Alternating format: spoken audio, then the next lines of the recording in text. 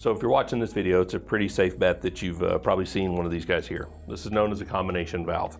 Basically what you've got here is a multifunction with proportioning valve, metering valve, and then in the center here, a pressure differential switch. Basically what this switch does is, is later on down the road when you're driving the car, should you lose brakes on the front or rear, holding the line, something along those lines, this valve will move, it'll block off, and therefore then turn the light on on the dash, let you know that there's a problem. So it's a great safety feature. The problem though is, is when you're bleeding the brakes, it can be a real pain. So we sell this little tool here. We include it in all of our valve kits. What this does is, is it replaces the switch while you're bleeding the brakes. Simple, threads down in place right here. What it'll do is the little tip will actually lock in this V here. When you're bleeding the brakes, if you do have a, a pressure on the front or rear that's uh, off, it'll keep this port right here in the center locked in place. With that locked in place, it's gonna keep you even on both sides.